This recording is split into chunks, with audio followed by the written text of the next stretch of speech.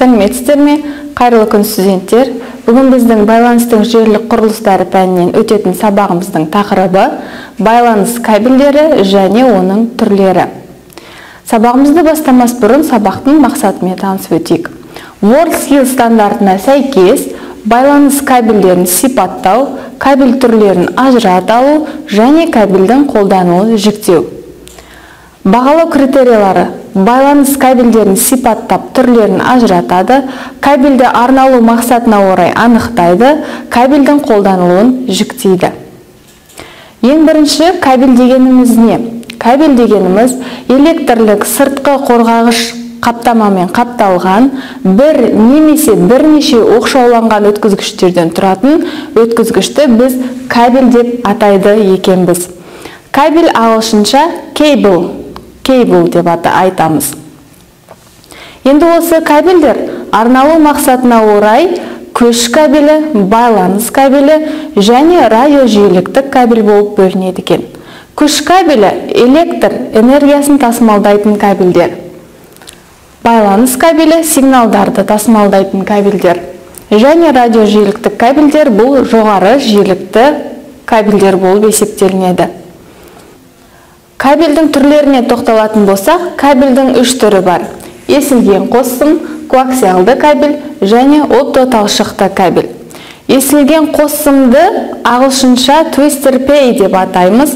Коаксиалды кабельді қысқаша коакс және оптоталшықты кабельді файбер оптик деп айтамыз. Есілген қоссым яғни қос ширатпа кабельге тоқталатын болсақ өздеріңіз көріп тұрғандай есілген қоссым деп екі өткізгіші өткізгіш біріктіріліп бірнеше рет ширатылып бұратылған тұтас кабельді айтамыз. Сымдарды ширатып бұрау кабель бойымен сигнал жіберген кезде болатын электрлік ақауларды азайтады. Есілген қоссым яғни твистер пей кабелін ағылшын тілінен аударған кезде бұралған жұп деген мағынаны білдіреді екен. Есілген қоссым кабельдері негізінен интернет желілерін құрғанда локальды желілерді құрғанда байланыс жүйелерінде және сигнализация жүйелерінде қолданылады. Енді осы есілген қоссым кабелі екі топқа бөлінеді. Экрандалған кабель және экрандалмаған кабель. Экрандалған кабельге тоқталып өтсек экрандалған кабельдердің ішкі бөлігінде мыс орауы бар. Сонымен қатар өткізгіштер жұбы фольгамен оралған. Бұл кабельдің түрі көбінде ғимараттардың сыртқы бөлігінде және бір ғимарат пен екінші ғимараттар арасында байланыс қосуға өте ыңғайлы кабельдер. Ал экрандалмаған кабельдер қазіргі таңда кейін қолданылатын кабельдердің түрі максималды ұзындығы 100 метрді құрайды. Бұл кабельдер әсіресе ғимараттардың ішкі бөлігінде таратылатын кабельдердің түрі. Экранда көріп тұрсыздар төрт түрлі кабель тұр. Қандай айырмашылық бар деп ойлайсыздар өздеріңіз тексеріңіздер мен айтып өтейін. Есілген қоссым кабелінің төрт түрін көріп тұрсыздар. Бұл жерде латын әріптері жазылып тұр. Яғни осы латын әріптері кабельдің құрылысына қарай таңбалануын көрсетеді. Бірінші кабельде S, F, T, P яғни S дегеніміз өрілген ораушы бар кабель деген сөз. Ал F фольгамен оралған кабель. Көріп тұрсыздар кабельдің жұптары фольгамен оралып тұр. Яғни TP деген есілген қос жұп деген сөз. Келесі кабельге назар аударайық. FUTP кабелі. Яғни бұл кабельде жалпы кабель фольгамен оралған F әрпі яғни фольгамен оралған деген мағынаны білдіреді. Ал UTP-ге келсек көріп тұрсыздар өткізгіштері фольгамен де оралмаған. Сол себепті U әрпі белгіленеді. U әрпі бізде экрандалмаған қапталмаған деген мағынаны білдіреді. Яғни TP бұл есілген қоссым деген сөз. Келесі кабельге назар аударсақ SFUTP кабелі яғни S әріпі өрілген металл қаптамасы бар деген сөз. Яғни кабель бұл жерде өрілген металлмен қапталған және фольгамен де қапталған. Сол себепті SF ал UTP дегеніміз өткізгіштері қапталмаған, экрандалмаған. TP дегеніміз есілген қоссым кабелі және ең соңғы кабель UUTP бұл жерде кабель ешқандай да қапталмаған экрандалмаған өткізгіштері де қапталмаған экрандалмаған есілген қос сым. Коаксиалды кабельдер. Коаксиалды кабельдер радио және телевизиялық аппараттарда қолданылады. Коаксиалды кабельдер ақпаратты 10 мегабит секунд жылдамдықпен таратады және олар 185-500 метр қашықтықта жібере алады. Олар қалыңдығына қарай жуан жіңішке болып бөлінеді. Коаксиалды кабельдің құрылысына тоқталып өтетін болсақ ең негізгі өткізгіші болады. Өткізгішті қаптайтын диэлектрик экран және ең сыртқы қорғағыш қабаты изоляциясы болады. Коакс латын тілінен аударған кезде ко бірлесіп акс ось яғни бірлескен ось дегенді білдіреді. Коаксиалды кабельдің негізгі қолданылуы жиіліктік сигнал беруде эфирлік жүйелерде компьютерлік желілерде және дабыл жүйелерінде қолданылады. Коаксиалды кабельдер және айттық қалыңдығына қарай жуан коаксиалды кабельдер және жіңішке коаксиалды кабельдер болып бөлінеді. Жіңішке коаксиалды кабельдер диаметрі шамамен 0,5 см болатын иілгіш кабель. Ол пайдалануға қарапайым жіңішке коаксиалды кабель өшуден туындаған бүлінуді білдіртпей сигналды 185 метр қашықтықта жібере алатын кабельдер. Ал жуан коаксиалды кабельдер қалыңдығы шамамен 1 см болатын қатты кабель. Кабельдің жібі қанша үлкен болса соншалықты ара қашықтықта сигнал игеруге қабілетті болады. Үшінші кабеліміз оптоталшықты кабель. Оптикалық кабельдерді шыны талшықты кабельдер деп те атайды. Олар арқылы мәліметтердің таралу жылдамдығы секундына бірнеше гигабит секундқа дейін жетеді. Мәліметтерді жіберу мүмкіндігі 50 километрдан астам. Оптикалық талшықты сызықтар үлкен көлемді мәліметтерді өте жоғары жылдамдықпен таратады.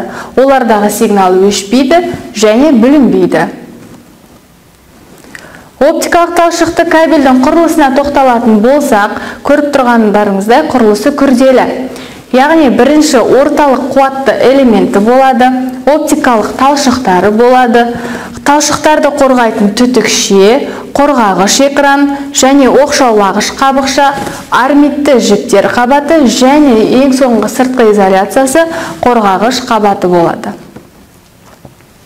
Файбер оптик ағылшын тілінен аударған кезде оптикалық талшық деген мағынаны білдіреді.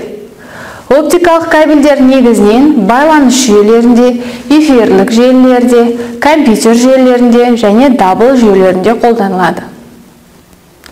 Оптикалық талшықты кабель құрылысына қарай бір модты және көп модты болып бөлінеді. Бір модты кабельдер яғни кабель құрылысында бір ғана модуль болса бұл бір модты деп аталынады.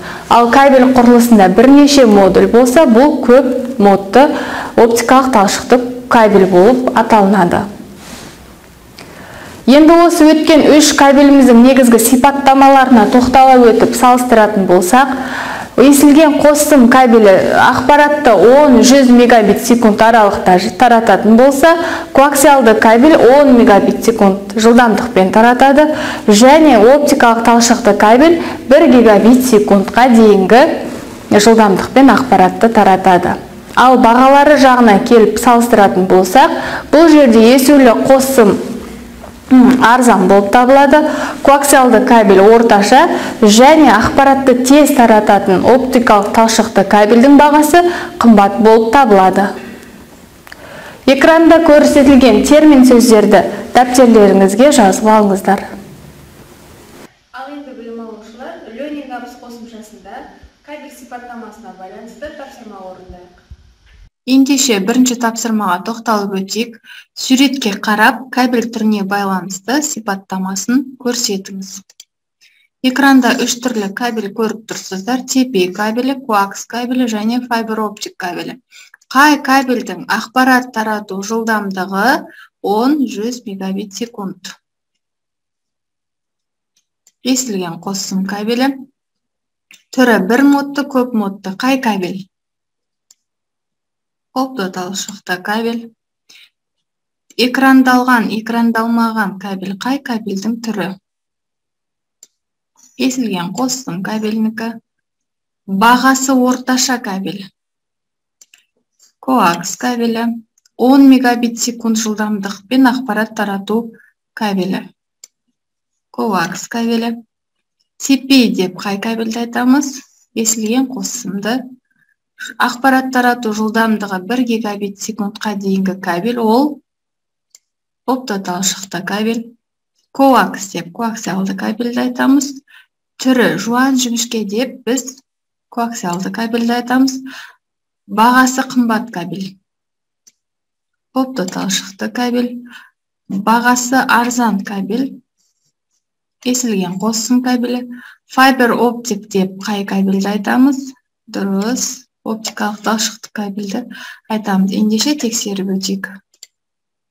Дұрыс керемет. Яғни осындай сіздерге тағы үш тапсырма берілетін болады. Соны кезең кезеңмен орындайық. Студенттер бүгінгі сабағымызға рефлексия. Яғни бүгінгі сабағымыздан алған әсерлеріңізді экранда көрсетілген смайликтер бойынша WhatsApp желісіне кері байланыс жіберіңіздер. Сіздерге үй тапсырмасы яғни экранда көрсетілген сілтемелер бойынша тапсырмалар орындау және кабельдің таңбалануы тақырыбына ізденіс жұмыстарын жасау. Сау болыңыздар!